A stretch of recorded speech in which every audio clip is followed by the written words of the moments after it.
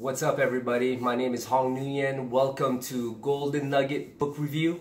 And so, if this is your first time to the channel, welcome. And here we're all about, well, what I'm all about is reading books and sharing a golden nugget from that book in a video with you guys and making so making it so that it lasts five minutes or less. Okay, because you know we want sometimes good information and little nuggets of wisdom on the go, right? So let's get into it.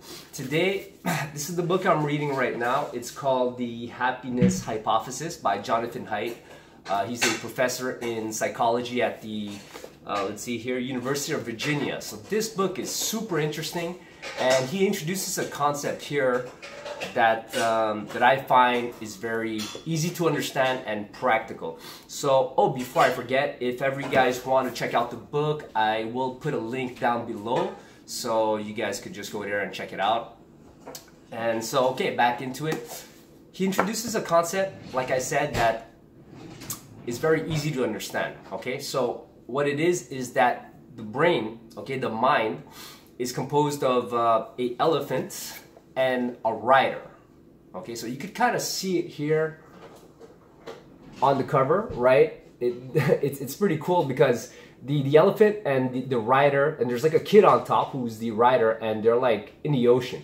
So essentially what it's saying is that the elephant is your subconscious. It's everything that's automatic about what's going on in your brain. And the rider, okay, is is the conscious part of your brain. And the thing is, we might think that the rider has control, but it actually doesn't. The elephant, which is all the automatic processes or your subconscious and so on, it's been there for a long, long time, and we survived because of it. But now in this, in, this day and age, uh, things are more complicated and society and everything evolves so fast that you know our minds are still a little bit uh, the elephant is still a little bit set in his ways. So how do you affect the elephant? How do you control the elephant? Well, in this book, three ways to control it. I mean, there's, there's a whole bunch of other stuff and science behind it. It's super interesting. This is a book where they, um, they mix in old wisdom from religion, from all the great thinkers and stuff like that, with modern science, modern psychology, cutting edge uh, stuff, right?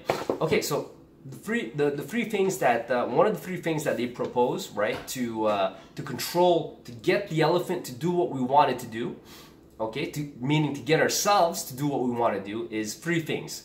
You could either go uh, cognitive therapy, so you go see a psychologist to work out your issues, right? Like let's say you're you're you're just smoking a lot and you want to quit that habit, maybe go see a psychologist and they, they help you work out the thought process, process behind this so that you could eventually uh, quit, find a way to convince the elephant, so to speak.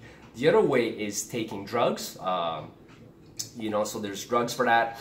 I think it's called, um, I think Prozac is actually one of the drugs he mentioned. But yeah, taking drugs basically, pharmaceutical, not not like weed or cocaine, not recreational drugs, like drugs for, for your mind, right? To, to fix the problem.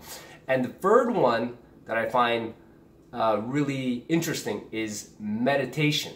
Meditation can help calm the elephant down and make it more open and receptive to what you're trying to get it to do.